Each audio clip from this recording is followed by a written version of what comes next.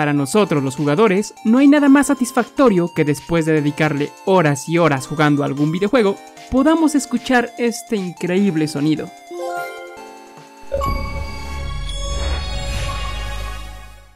Y es que completar el juego al 100% y platinar cualquier juego en sí ya es un reto para cualquier jugador casual. Solo los más acérrimos a los videojuegos podemos tener la dicha de decir que hemos logrado platinar algún juego.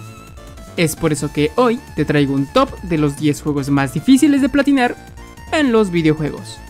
Y créeme mi loco, si tienes dos o más de esta lista, tú puedes considerarte el sujeto.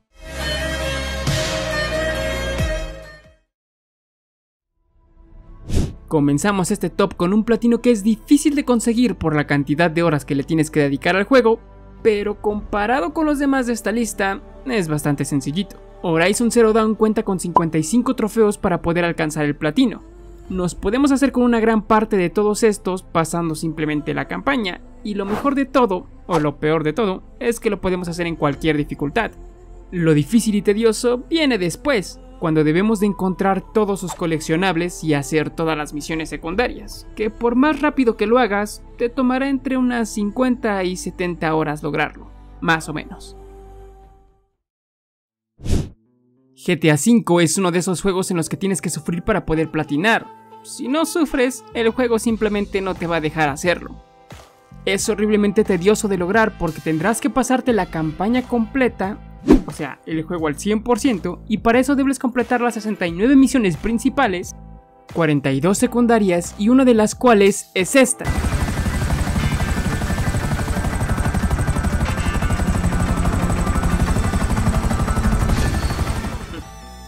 ¿Quién carajo programó el sistema de vuelo en GTA V? Quien haya sido no debería volver a programar en su vida.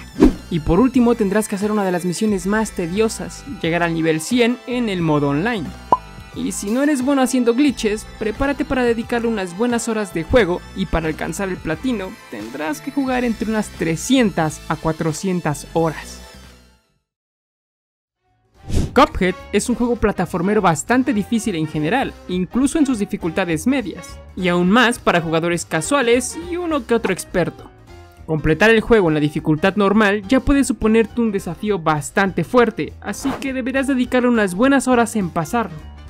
Pero para conseguir el platino debes ir más allá.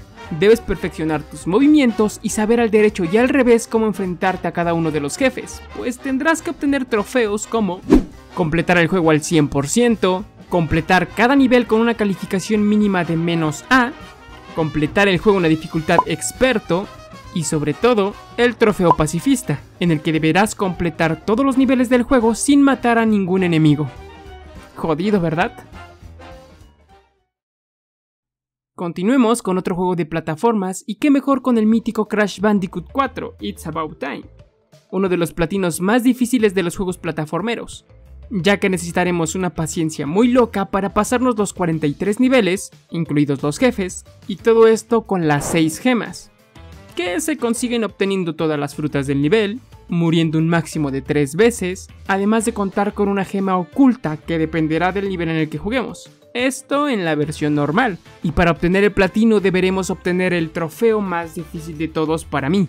El jugar todos los niveles en modo N versión o N vertido. Lo que hace es una variante para todos los niveles del juego, en el que todos los niveles estarán invertidos y las gemas ocultas no se encontrarán en el mismo lugar. Así que aparte de ya haberte memorizado todos los lugares para obtener la máxima puntuación en los niveles normales, vas a tener que hacer lo mismo pero para la versión invertida. No me puedo imaginar cuántas horas le han de haber invertido para poder obtener este platino. Bloodborne, uno de los juegos más difíciles de la saga Souls y por lo tanto también uno de los platinos más difíciles de conseguir. Si quieres conseguirlo, tendremos que matar a todos los jefes principales y los jefes opcionales, y a los de las mazmorras. Además de que tendremos que desbloquear todos los finales distintos, por lo tanto tenemos que pasarnos el juego unas cuantas veces. Además, un reto que se le suma es que tendremos varios logros perdibles a lo largo de la campaña, por lo que si los pierdes tendremos que volver a cursar toda la historia para poder conseguirlos y alcanzar el platino. Y para eso más o menos tendrás que invertirle unas 100 horas aproximadamente, Aunque bueno, todo dependerá de tu habilidad. Puede ser más, puede ser menos. Todo depende de ti, mi loco. Dead Space Remake. Si disfrutaste a tope el primer Dead Space en consolas de antigua generación, estoy seguro que ya conoces un poco la dificultad de este juego. En la versión remake tendrás que tener una buena paciencia para poder encontrar todos los coleccionables y pasarte el juego un mínimo de dos veces.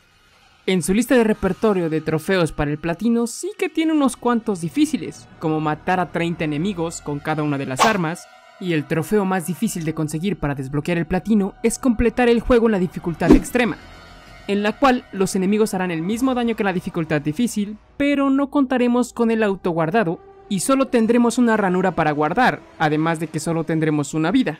O sea, si morimos, nos regresan al punto de control que hayamos hecho, pero la dificultad se bajará en automático a difícil, así que tendremos que elegir entre continuar así o iniciar desde el principio, y por lo tanto perderemos el logro. Y tocará volver a empezar.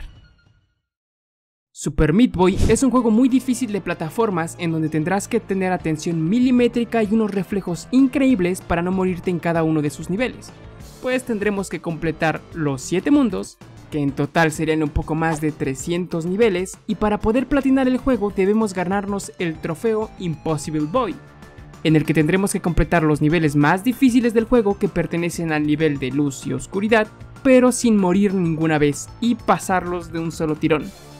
Dime tú si no es difícil. Hollow Knight, uno de mis Metroidvanias favoritos y que cuenta con uno de los platinos más difíciles de este top, que para conseguirlo, primero deberemos adaptarnos al sistema de combate del juego, porque si no estás acostumbrado a los movimientos rápidos de ataque y esquive, esto te tomará muchísimo más tiempo del que debería, y aparte tendrás que dominar todas estas técnicas. Además de que no contaremos con una dificultad para elegir, el juego simplemente se va haciendo más difícil a medida que avanzamos en el juego.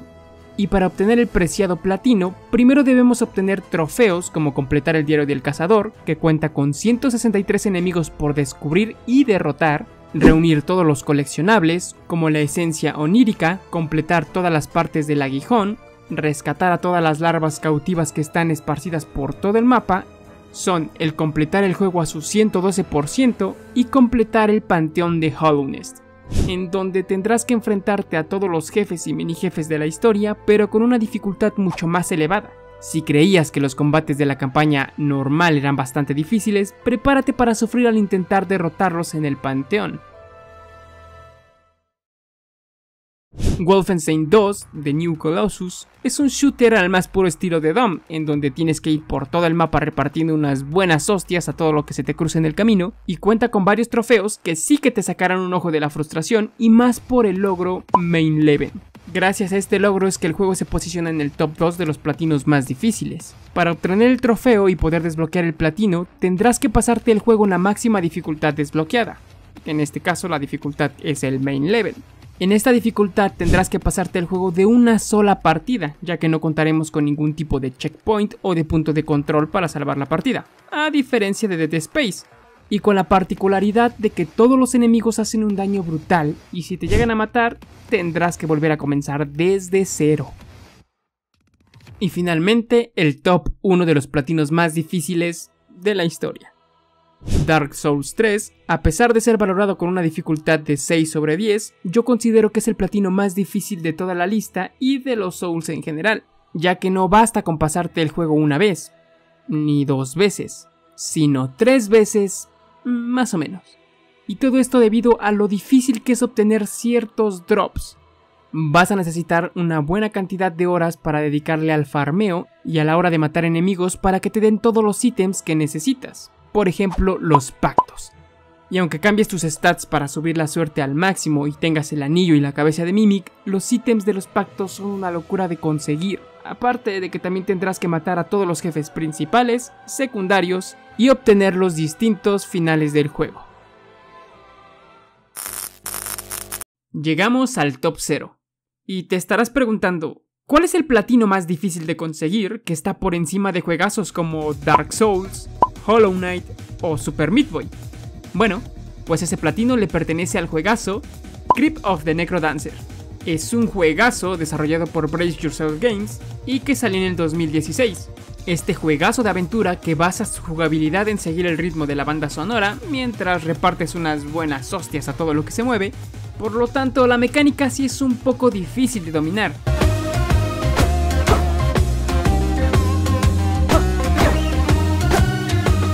Este juego cuenta con varios trofeos bastante jodidos, la verdad, como presentismo, que consiste en completar el modo multizona con Cadence en solitario en menos de 15 minutos. Pero la locura llega cuando hablamos del logro menos es más, en donde tenemos que hacer un run en modo multiordinario. Esto significa que tendremos que hacer un run bastante, pero bastante largo, que junta a los 9 personajes, o sea que tenemos que pasar el juego un total de 9 veces seguidas sin parar ni morir. Además de esto no podremos mejorar a nuestros personajes de ninguna manera posible y no podremos comprar o recoger objetos. Y si esto no fuera ya suficiente, tampoco podremos entrar a ningún santuario, solo se nos permitirá recoger oro. Esto automáticamente hace que el trofeo pueda considerarse un platino en sí mismo. Cualquier error que cometas durante la run podría significarte horas y horas de intento desperdiciados. Así que tendrías que volver a comenzar todo desde el inicio. Este platino cuenta con una dificultad de 10 sobre 10, con un estimado de 900 a 1000 horas de juego. No por algo, según PNS Profile, solo 19 personas en el mundo tienen este platino. Pero dime, ¿cuál es tu lista de platinos más difíciles con los que te has topado? Y dime si lograste desbloquear algún platino de esta lista. Te agradezco muchísimo guapetón por haber llegado hasta este punto del video.